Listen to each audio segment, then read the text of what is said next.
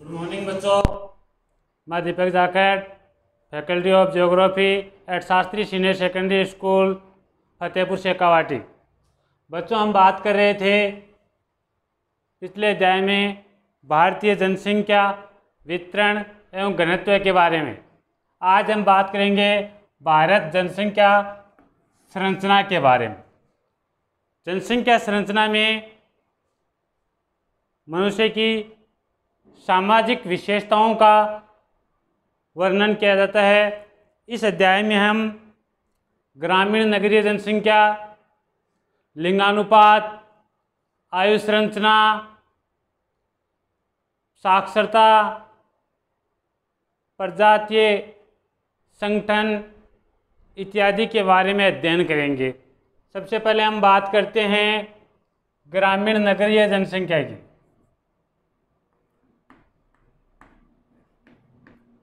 ग्रामीण, नगरीय जनसंख्या।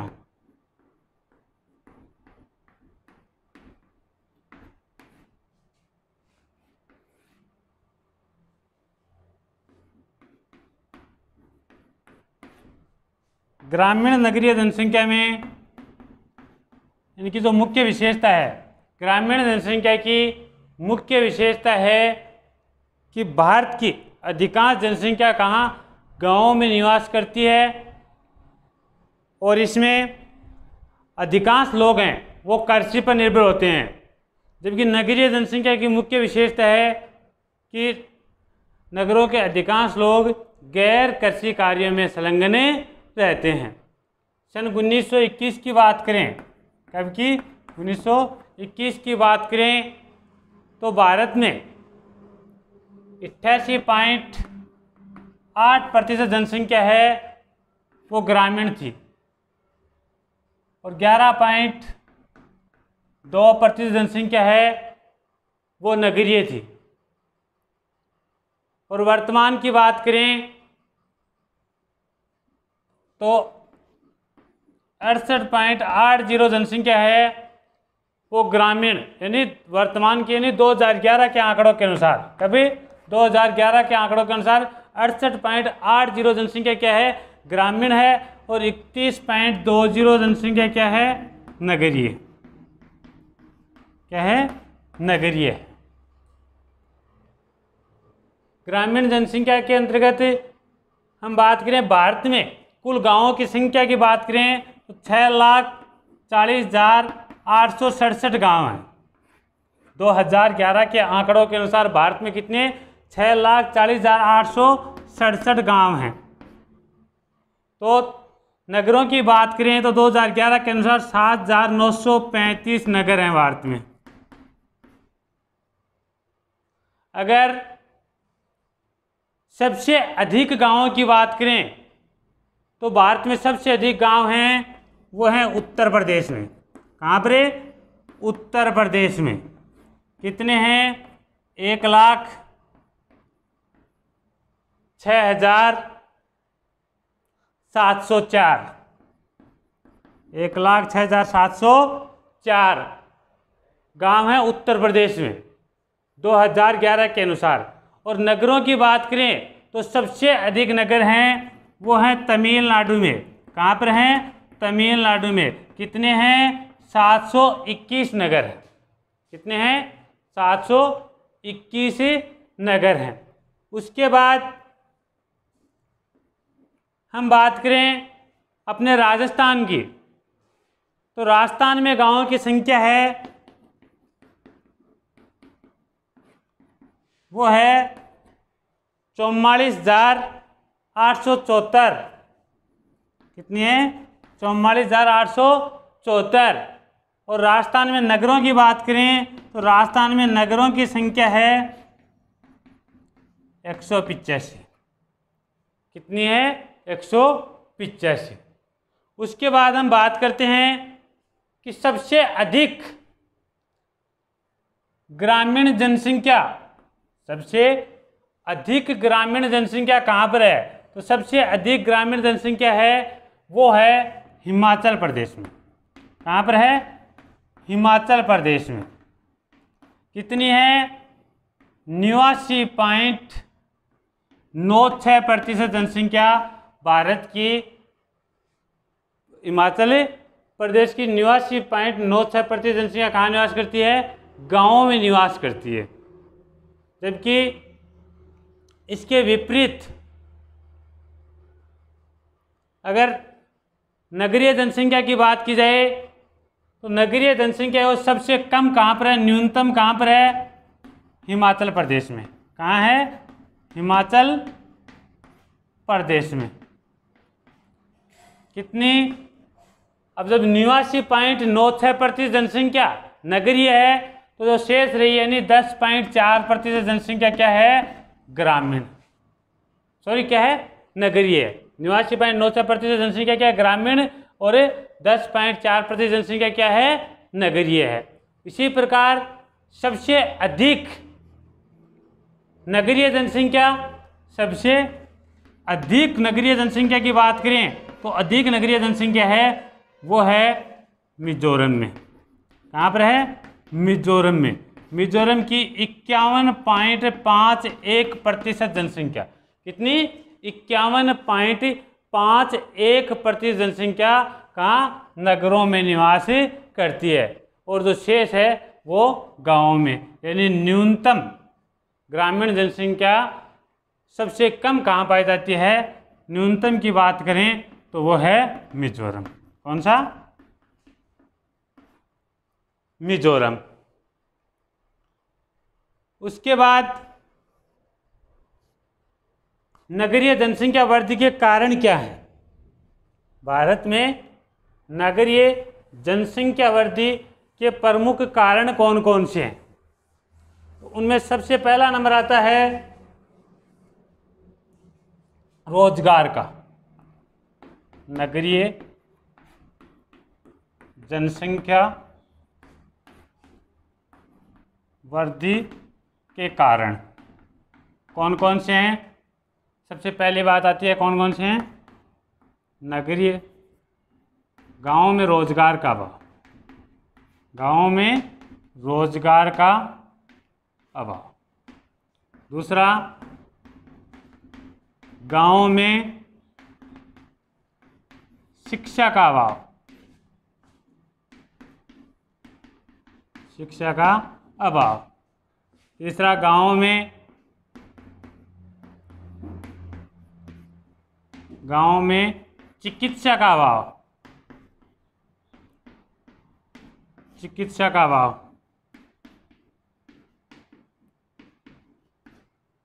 चौथा है परिवहन। एवं संचार साधनों का विकास, कहाँ? नगरों में। परिवहन एवं संचार साधनों का विकास, कहाँ पर? नगरों में। शिक्षा का प्रसार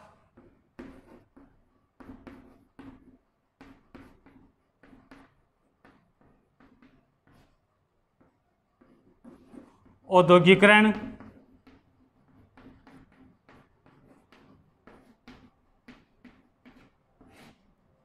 नगरीय आकर्षण।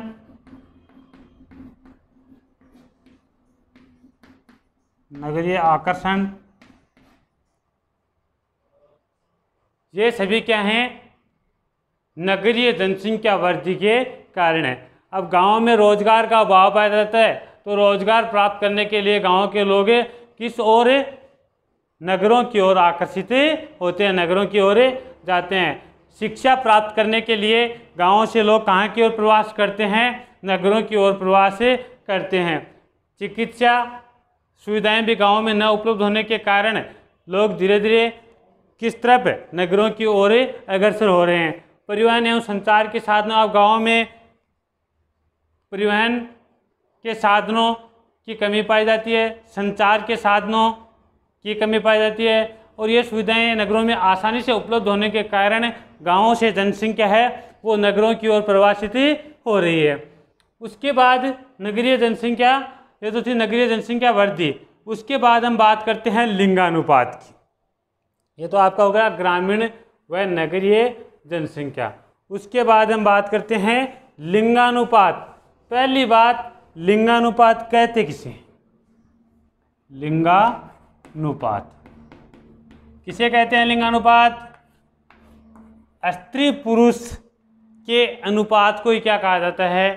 लिंगानुपात कहा जाता है। स्त्री एवं पुरुषों के अनुपात को। विश्व के विभिन्न देशों में प्रति हज़ार स्त्रियों पर पुरुषों की संख्या की गणना की जाती है। भारत जैसे देश में प्रति हज़ार पुरुषों पर स्त्रियों की संख्या के अनुपात को क्या कहा जाता है? लिंगानुपात कहा जाता है। लिंगानुपात ज्ञात करने का सूत्र है, पुरुषों की जनसंख्या लिंगानुपात बराबर, पुरुषों की जनसंख्या, पुरुषों की कुल जनसंख्या बट्टा स्त्रियों की कुल जनसंख्या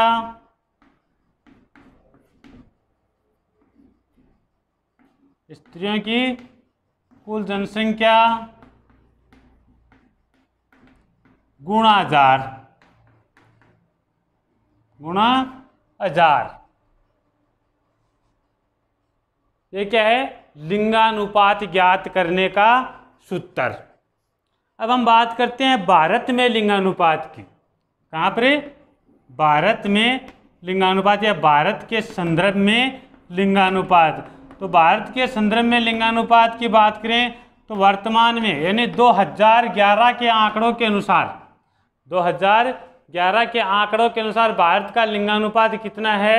940 यानी प्रति हज़ार पुरुषों पर कितनी स्त्रियाँ हैं? 940 लेकिन हम सन 1901 से लेकर देखें, सन 1901 से लेकर देखें तो 1901 में लिंगानुपात था भारत का नौ सौ कितना था?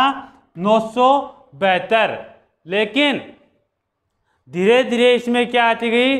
कमी आती गई और सन उन्नीस तक आते आते कभी सन उन्नीस तक आते आते ये नौ से हो गया नौ सौ सत्ताईस। कितना हो गया? नौ सौ सत्ताईस।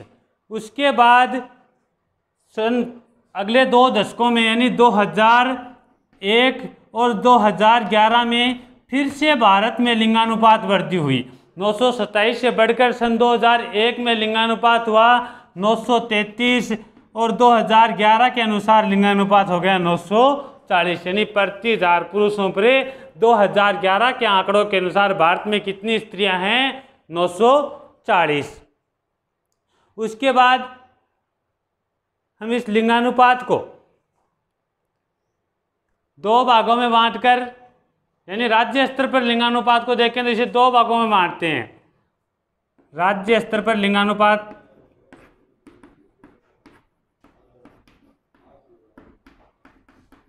को दो भागों में। और ये दो भाग कौन कौन से हैं बच्चों? इन दो भागों में पहली बात, राष्ट्रीय औसत से राष्ट्रीय औसत से अधिक लिंगानुपात, राष्ट्रीय औसत से अधिक लिंगानुपात वाले राज्य। और दूसरा है राष्ट्रीय औसत राष्ट्रीय औसत से कम लिंगानुपात वाले राज्य। अब राष्ट्रीय औसत से अधिक लिंगानुपात वाले राज्य कौन से हैं? तो राष्ट्रीय औसत कितना है? 940 जो विश्व के औसत लिंगानुपात से बहुत ही कम है। विश्व का औसत लिंगानुपात कितना है बच्चों? नौ सौ चौरासी। प्रति हज़ार पुरुषों पर विश्व में कितनी स्त्रियाँ पाई जाती हैं? नौ सौ चौरासी। और भारत में कितनी? 940 जो बहुत ही कम है। अब हम बात करते हैं राष्ट्रीय औसत से अधिक लिंगानुपात वाले राज्य। इनमें सबसे पहला नंबर आता है, वो आपका आता है एक नंबर पर केरल का। कहाँ का आता है? केरल का। जहाँ का लिंगानुपात कितना है? एक हज़ार चौरासी। यानी प्रति हज़ार पुरुषों पर यहाँ कितनी स्त्रियाँ हैं? एक हज़ार चौरासी स्त्रियाँ हैं। उसके बाद दूसरा नंबर आता है तमिलनाडु का। दूसरा नंबर कहाँ का आता है? तमिलनाडु का। तमिलनाडु में प्रति हज़ार पुरुषों पर कितनी स्त्रियाँ हैं? नौ सौ पिचानवे। कितनी हैं? नौ सौ पिचानवे। उसके बाद तीसरा नंबर आता है आंध्र प्रदेश का। कहाँ का? आंध्र प्रदेश का। आंध्र प्रदेश में प्रति हज़ार पुरुषों पर कितनी स्त्रियाँ हैं? नौ सौ बानवे। कितनी है? नौ सौ बानवे। उसके बाद हम बात करें केंद्र शासित प्रदेशों की। केंद्र शासित प्रदेशों में पांडिचेरी। कौन सा? पांडिचेरी। जहाँ का लिंगानुपात कितना है? पांडिचेरी का लिंगानुपात है, वो है एक हज़ार उनतीस। प्रति हज़ार पुरुषों पर कितनी? एक हज़ार उनतीस स्त्रियाँ पाई जाती हैं। उसके बाद पांडिचेरी के बाद आता है लक्षद्वीप। कौन सा?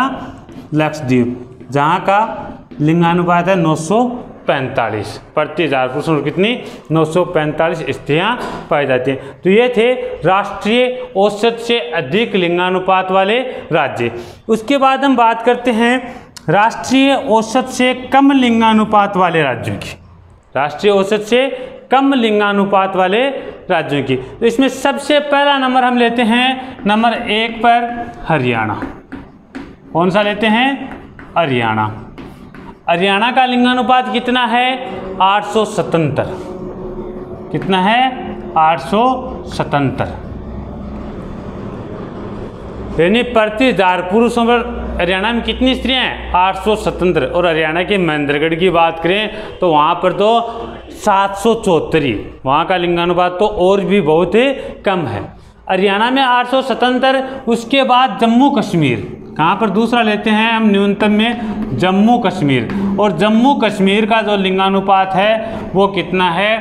वो है आठ सौ तिरासी। प्रति हज़ार पुरुषों कितनी स्त्रियाँ हैं? आठ सौ तिरासी। उसके बाद हम बात करते हैं नंबर तीन पर सिक्किम। कौन सा है? सिक्किम। और सिक्किम का लिंगानुपात कितना है? आठ सौ नवासी। कितना? आठ सौ निवासी। प्रति हज़ार पुरुषों कितनी स्त्रियाँ हैं? आठ सौ निवासी। उसके बाद अपना राजस्थान आता है।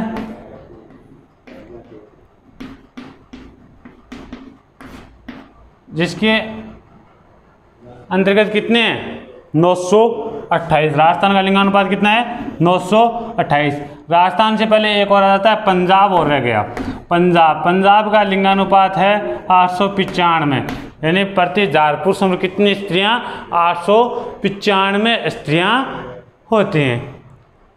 तो ये था न्यूनतम लिंगानुपात। सबसे कम कहाँ का है? हरियाणा का। उसके बाद जम्मू कश्मीर सिक्किम, पंजाब, फिर अपना राजस्थान आता है। केंद्र शासित प्रदेशों की बात करें केंद्र शासित प्रदेशों में सबसे कम लिंगानुपात दमन व दीव का है। कहाँ का है? दमन व दीव का। कितना है? 618 कितना है? 618 प्रति हज़ार पुरुषों में कितनी स्त्रियाँ हैं? 618 हैं। उसके बाद दादरा नगर हवेली। उसके बाद कहाँ का है? दादरा नगर हवेली का लिंगानुपात। यानी कहने का मतलब सबसे कम लिंगानुपात कहाँ का है? दमन व दीव का। प्रति हज़ार पुरुषों में मात्र कितनी स्त्रियाँ पाई जाती हैं वहाँ पर? 618 एक बात लगे तो और ध्यान में कर लेना बच्चों। आपने कक्षा में पढ़े थे केंद्र शासित प्रदेशों के बारे में। और मैंने आपको बता दिया था कि पहले केंद्र शासित प्रदेश सात थे और मैंने बताया था, नौ हो गए हैं। अब नौ नहीं है, वर्तमान में केंद्र शासित प्रदेश आठ हैं। कितने हैं? आठ हैं। जो ये दमन व दीव और वह दादरा नगर हवेली है, इन दोनों को एक ही केंद्र शासित प्रदेश बना दिया गया और इनकी राजधानी कर दी गई है दमन। और ये कब किया गया? 26 जनवरी 2020 को दमन व दीव और दादरा नगर हवेली दोनों को मिलाकर एक केंद्र शासित प्रदेश बना दिया गया यानी वर्तमान में भारत में 28 राज्य और आठ केंद्र शासित प्रदेश हैं। तो हम बात कर रहे थे लिंगानुपात की। तो राज्य में लिंगानुपात की बात करें तो सबसे कम हरियाणा का, केंद्र शासित प्रदेशों में बात करें तो दमन व दीव का कितना? 618 अधिकतम की बात करें तो अधिकतम सबसे अधिक लिंगानुपात कहाँ का है? राज्यों की बात करें तो सबसे अधिक लिंगानुपात केरल का है। कितना? एक हज़ार चौरासी। प्रति हज़ार पुरुषों में कितनी स्त्रियाँ? एक हज़ार चौरासी। केंद्र शासित प्रदेशों की बात करें तो सबसे अधिक लिंगानुपात है, वो है पांडिचेरी का। एक हज़ार उनतीस स्त्रियाँ प्रति हज़ार पुरुषों पर। तो यह था अपना लिंगानुपात। और पिछला जो हमने पढ़ा टॉपिक वो था ग्रामीण नगरीय जनसंख्या। नेक्स्ट कक्षा में हम आयुष संरचना के बारे में अध्ययन करेंगे। धन्यवाद।